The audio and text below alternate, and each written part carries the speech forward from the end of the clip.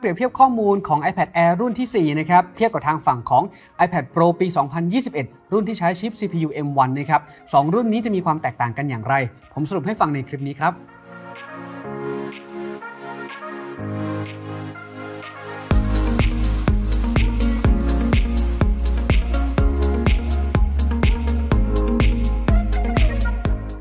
สวัสดีครับ ผมต้อมไอมดนะครับ ก่อนหน้านี้นะครับผมเคยได้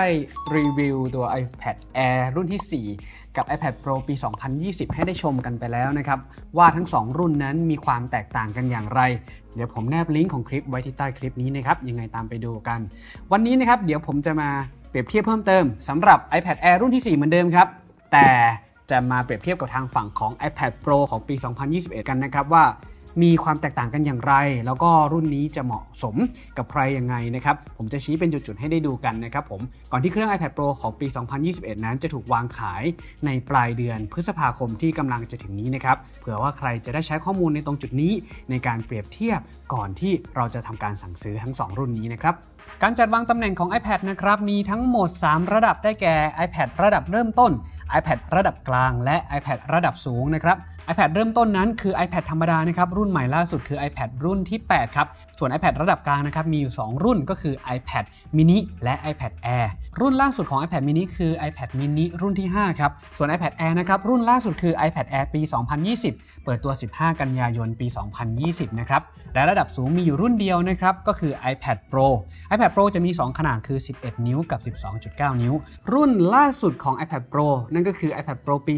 2021 ที่มาพร้อมชิป CPU M1 นะครับ ที่เพิ่งเปิดตัวไปเมื่อวันที่ 20 เมษายนของปี 2021 ที่ผ่านมานะครับผม เราได้ทราบกันไปแล้วนะครับสำหรับ position หรือว่าการจัดวางตำแหน่งของตระกูล iPad ที่ผมสรุปให้ฟังเป็นรุ่นล่าสุดที่วางจำหน่ายอยู่ณตอนนี้นะครับผม ต่อไปนะครับ เดี๋ยวเรามาดูข้อมูลเปรียบเทียบระหว่าง iPad Air รุ่นที่ 4 นะครับ เปรียบเทียบกับทางฝั่งของ iPad Pro ปี 2021 นะครับ สิ่งแรกที่เรามาดูกันเลยก็คือในเรื่องของหน้าจอครับ ในส่วนของหน้าจอครับ iPad Air รุ่นที่ 4 นั้น จะมีขนาดหน้าจออยู่ที่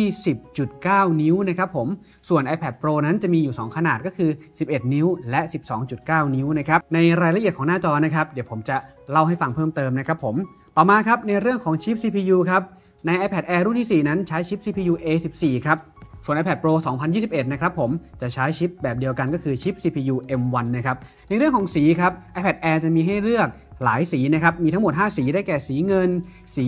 เทา Space Gray สีชมพู สีเขียว แล้วก็สีฟ้านะครับส่วนฝั่งของ iPad Pro นะฮะทั้ง 2 ขนาดเลย จะมีอยู่ 2 สีนะครับ คือสีเงินแล้วก็สีเทา Space Gray ต่อมาครับเรามาลงรายละเอียดเรื่องของหน้าจอกันครับผม 3 เครื่องที่เรากำลังเปรียบเทียบกันอยู่ตรงนี้ หน้าจอที่ดีที่สุดจะเป็นของ iPad Pro ขนาดหน้าจอ 12.9 นิ้วนะครับ เนื่องจากในรุ่นนี้นะครับจะใช้หน้าจอที่เป็น Liquid Retina XDR นะครับ เป็นหน้าจอแบบ Mini LED นะฮะ จุดเด่นของหน้าจอ Mini LED ก็คือในเรื่องของความสว่างครับ สามารถทำได้สูงสุดถึง 1,600 นิตเลยนะครับผมทำให้มีความสว่างมากกว่า iPad ทั้ง 2 รุ่นนะครับ นอกจากนี้ยังมาพร้อมระบบโปรโมชั่นด้วยนะครับ โปรโมชั่นก็คือเป็นความถี่ 120 Hz นะครับ ต่อมามาดูในฝั่งของ iPad Pro 11 นิ้ว และ iPad Air 4 กันบ้าง ซึ่งทั้ง 2 รุ่นเนี่ยจะใช้เป็นหน้าจอ Liquid Retina พูดสั้นๆ ก็คือเป็นหน้าจอแบบ LCD นั่นเองนะครับ แต่ว่าสิ่งที่มันแตกต่างเพิ่มเติมนั่นก็คือในเรื่องของความสว่างของ iPad Pro 11 นิ้วนั้นจะอยู่ที่ 600 นิตนะครับ ส่วน iPad Air นะครับจะอยู่ที่ 500 นิตนะครับผม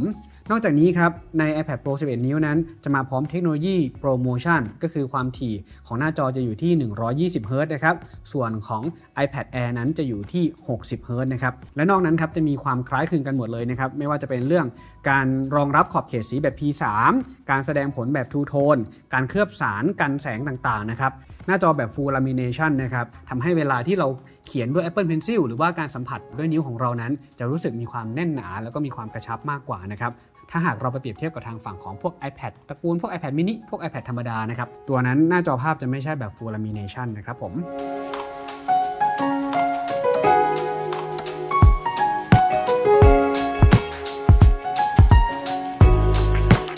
มาด้วยเรื่องของชิป CPU นะครับ iPad Pro ปี 2021 ทั้ง 2 ตัวนะฮะ มาพร้อมชิป CPU M1 ส่วน iPad Air รุ่นที่ 4 นะครับ มาพร้อมชิป CPU A14 Bionic นะครับผม ทั้ง 2 นะครับ เป็นชิปแบบ 64 บิตเหมือนกันครับส่วนเทคโนโลยีในการผลิตนะครับจะอยู่ที่ 5 นาโนเมตรเหมือนกันเลยนะครับผม ตัวชิป CPU A14 นั้นถูกเปิดตัวมาก่อน แล้วถึงตามมาด้วยชิป CPU M1 นะครับ เรื่องจำนวนคอนั้น CPU ของ M1 นั้นจะให้มา 8 คอนะครับ ส่วนทางฝั่งของ A14 นั้นจะให้มาทั้งหมด 6 คอนะครับ ตัวการ์ดจอบนชิป M1 ของ iPad Pro นะครับจะให้มาทั้งหมด 8 คอ ส่วนทางฝั่งของ iPad Air รุ่นที่ 4 นั้น กราฟิกจะให้มาเพียง 4 core เท่านั้นนะครับ นั่นก็คือการประมวลผลทางด้านกราฟิกเนี่ยทาง A14 จะน้อยกว่า M1 นะครับถึง 2 เท่านะ ก็คือครึ่งครึ่งเลย ในเรื่องของ Neural Engine นะครับจะใช้แบบเดียวกันมีทั้งหมด 16 core นะครับ ในเรื่องของ RAM ครับฝั่งของ iPad Pro จะให้มาเยอะกว่านะ iPad Pro เนี่ยจะมี RAM ให้เลือกอยู่ 2 ขนาดก็คือ8 GB และ 16 GB นะครับ8 GB จะอยู่ในรุ่นของความจุ 128 GB 256 GB และ 512 GB นะครับ ส่วนในรุ่นที่จะได้ RAM 16 GB จะมีอยู่ 2 ความจุ คือความจุ1 TB และความจุ2 TB แต่ฝั่งของ iPad Air รุ่นที่ 4 นั้น จะให้ RAM มาเพียง4 GB เท่านั้นนะครับ ทุกความจุเลยครับ ให้ RAM มาเท่ากัน ต่อมาครับ มาพูดในเรื่องของความจุกันบ้างครับ ฝั่งของ iPad Air นั้น ความจุจะมีอยู่ 2 ขนาด ก็คือ 64 g b และ 256 g b นะครับ ส่วน iPad Pro จะมีความจุให้เลือกนะครับตั้งแต่ 128 g b 256 g b 512 g b 1 t b และ2 t b นะครับ จะมีความจุให้เลือกเยอะกว่า เราสามารถเลือกได้ ต่อมาในเรื่องของกล้องครับ ตัวกล้องเองนั้นฝั่งของ iPad Air รุ่นที่ 4 จะมาพร้อมกล้องตัวเดียวนะครับ กล้องหลังตัวเดียวเลยความละเอียด 12 ล้านพิกเซลซึ่งในฝั่งของ iPad Pro ทั้ง 2 รุ่นนะครับจะมาพร้อมกล้องหลัง 2 ตัว นอกจากนี้ยังมีในฝั่งของ LiDAR Scanner มาให้ด้วยนะครับ กล้องหลังนั้นจะแบ่งเป็นกล้อง wide นะครับความละเอียดจะอยู่ที่ 12 ล้านพิกเซล ส่วนกล้อง Ultra Wide หรือที่ถ่ายมุมกว้างมากนะครับ ความละเอียดจะอยู่ที่ 10 ล้านพิกเซลนะครับ นอกจากนี้ครับทางฝั่งของกล้องหน้านะครับของ iPad Air รุ่นที่ 4 นั้น เป็นกล้องหน้าแบบ FaceTime HD นะครับความละเอียดอยู่ที่ 7 ล้าน แต่ในฝั่งของ iPad Pro ทั้ง 2 รุ่นนั้น จะมาพร้อมกล้องหน้า ความละเอียด 12 ล้านพิกเซลนะครับ เป็นกล้องแบบ True Depth นั่นหมายความว่าตัวนี้จะมีระบบสแกนหน้าแบบ Face ID มาให้ด้วยนะครับ แต่ว่าทางฝั่งของ iPad Air นั้นจะยืนยันตัวตนด้วยระบบ Touch ID นะครับ ปุ่ม Touch ID นั้นจะอยู่บนปุ่ม Power นะครับ เราแตะที่นั่นเพื่อทำการสแกนเข้ามา แต่ฝั่งของ iPad Pro จะทำการสแกนหน้า เพิ่มเติมของทางฝั่งของ iPad Pro อีกสักนิดนึงครับ ในส่วนของกล้องหน้า ในกล้องหน้าของ iPad Pro นั้น จะมาพร้อมความสามารถที่ชื่อว่า Center Stage นะครับ เราสามารถใช้งานพวกแอปพลิเคชัน video conference ต่างๆ นะครับ ยกตัวอย่างเช่นแอปพลิเคชัน FaceTime หรืออะไรต่างๆ นะครับ คือถ้าสมมุติว่าเราทำการพูดแล้วก็ทำการเดินไปด้วยครับ ตัวกล้องหน้าที่เป็น ultra-wide ครับ เขาจะทำการจับมาที่ภาพของเราและจะทำการ reframe นะครับ เพื่อที่จะทำให้ตัวของเรานั้นอยู่ในเฟรมตลอดเวลา แม้ว่าเราจะเดินไปไหนนะครับมันจะเปรียบเสมือนการที่เรา pan กล้องตาม แต่จริง ๆ แล้วเขาจะใช้ซอฟต์แวร์ในการปรับตำแหน่งให้ตัวของเรานั้นอยู่ที่กลางเฟรมตลอดนะครับผมนี่คือความสามารถที่เพิ่มเติมมาใน iPad Pro 2021 นะครับเรื่องกล้องผ่านไปแล้วนะครับ ต่อมามาดูเรื่องของพอร์ตกันบ้าง เรื่องพอร์ตนะครับทั้ง 3 รุ่นจะใช้เป็นพอร์ต USB-C ทั้งหมดเลยนะครับผม แต่ว่าสิ่งที่มีความแตกต่างจะเป็นในฝั่งของ iPad Pro นะฮะ iPad Pro ของปี 2021 แม้ว่าหน้าตาจะเป็นพอร์ต USB-C ใช่ไหม แต่ว่าในรุ่นนี้จะมีการอัปเกรดสเปคเพิ่มเติม ก็คือการเพิ่ม Thunderbolt เข้ามานะครับกับ USB-C จุดนี้นะครับมันจะดีก็คือเราสามารถที่จะโอนถ่ายข้อมูลได้รวดเร็วมากยิ่งขึ้นนะครับ สามารถรองรับการถ่ายโอนข้อมูลเร็วสุดที่ 40 กิกะบิตต่อวินาทีเลยนะครับผม ต่อมาครับในเรื่องของการเชื่อมต่อสัญญาณ iPad Air จะเชื่อมต่อสัญญาณที่เป็น cellular นั้นได้เพียงระดับ 4G เท่านั้นนะครับผม แต่ในฝั่งของ iPad Pro ของปี 2021 จะมาพร้อมระบบที่รองรับสัญญาณ 5G นะครับ ส่วนในเรื่องของ Wi-Fi นะครับก็ใช้ Wi-Fi 6 เหมือนกันอยู่นะครับ จะแตกต่างกันในฝั่งของระบบ cellular เท่านั้นนะครับที่เป็น 4G กับ 5G นะ เรื่องของอุปกรณ์เสริมนะครับ ทุกรุ่นก็รองรับ Apple Pencil รุ่นที่ 2 เหมือนกันนะครับผม และฝั่งของคีย์บอร์ดนั้นก็ใช้งานร่วมกันได้นะครับ เพราะว่าทางฝั่งของ iPad Air 4 เอง และก็ iPad Pro นะฮะ รองรับการใช้งานร่วมกับ Magic Keyboard นะครับผมใช้งานได้เหมือนกัน ต่อไปครับมาดูในฝั่งของราคานิดนึงแล้วกันนะครับ ราคาที่ผมให้ดูอยู่ณตอนนี้ก็คือเป็นราคาของ iPad Air รุ่นที่ 4 เปรียบเทียบกับ iPad Pro ของปี 2021 นะครับผมตามที่เราเห็นอยู่ตรงนี้เลย iPad Air นั้นจะเริ่มต้นที่